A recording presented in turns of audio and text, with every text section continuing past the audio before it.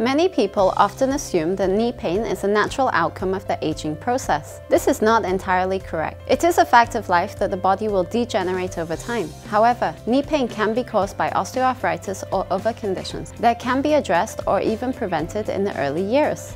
Wear and tear on the knee joint is usually caused by misalignment of the knee. Clicking in your knees when you bend or feeling an ache when climbing the stairs at a young age can be a sign of osteoarthritis developing in the joint.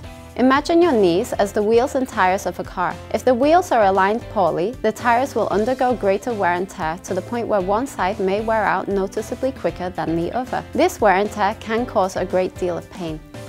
Most minor knee problems can be solved with orthotic inserts, therapy and exercise. More serious knee problems, if left untreated, can lead to the need for a knee joint replacement surgery. To ease pain in the knee and prevent it from worsening, you could stay active by exercising correctly to strengthen the knee, wear a brace to support the knee, wear appropriate footwear that will greatly reduce stress on the knee, diet and weight loss helps to reduce pain and inflammation and prevents further damage to the knee, medications can be taken to increase joint lubrication making movement easier, and regular therapy can help to stimulate natural growth of healthy tissue.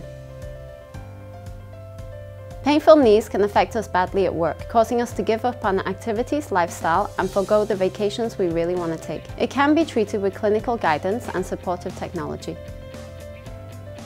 For more information on related conditions, check out our other videos.